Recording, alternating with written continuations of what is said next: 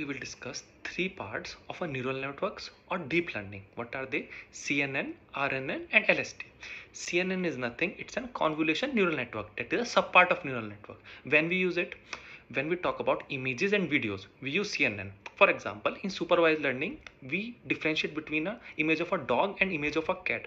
At that time, neural network uses CNN.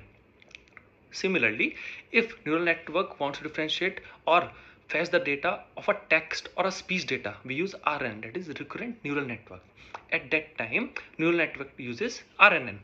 Now, RNN has having drawback that it is a short-term memory. It can store data for a short time and solve very less complex data.